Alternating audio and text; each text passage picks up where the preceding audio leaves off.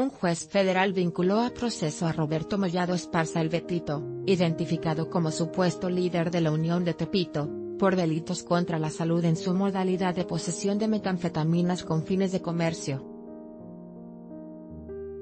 En audiencia de vinculación, la juez de control Beatriz Moguel Ancheita, del Centro de Justicia Penal Federal en la Ciudad de México con sede en el Reclusorio Oriente, tuvo por acreditados indicios suficientes para autorizar a la Procuraduría General de la República, continuar con su investigación contra Mollado Esparza por este delito debido a que al momento de su detención, ocurrida el 8 de agosto pasado junto con José Maldonado López, le fueron asegurados a cada uno 70 envoltorios de metanfetaminas.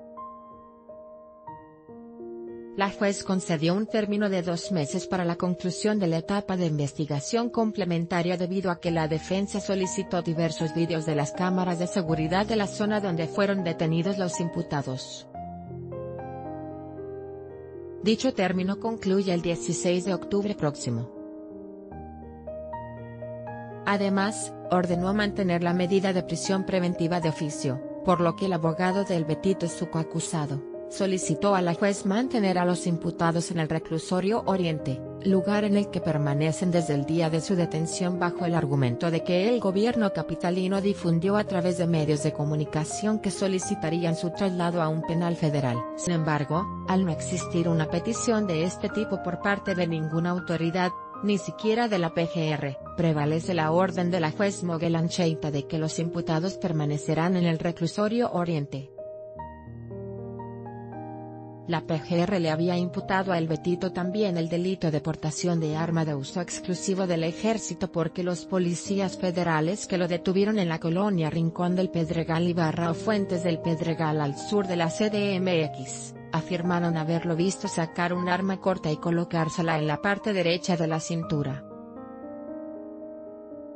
Sin embargo, la fiscalía no acreditó que el Betito portara dicha arma al momento de su detención debido a que, según un dictamen pericial ofrecido por la defensa del imputado, la pistola calibre 38 Super no presenta huellas dactilares de Mollado esparzan indicios de que siquiera fuera manipulada por alguien, es decir, que tampoco presentaba ni los residuos de la grasa de los dedos. A pesar de ello, la jueza aclaró que la PGR tiene expedito su derecho para continuar investigando si realmente la arma asegurada era de Mollado Esparza y, de reunir más pruebas, solicitar nuevamente audiencia para vincular a proceso por este delito. A El Betito y Maldonado López les fueron aseguradas dos bolsas con 70 envoltorios, cada uno, que registraron un peso de 27.3 y 60.7 gramos encontrados al primero de ellos, y 65.2 y 28.0 gramos al segundo.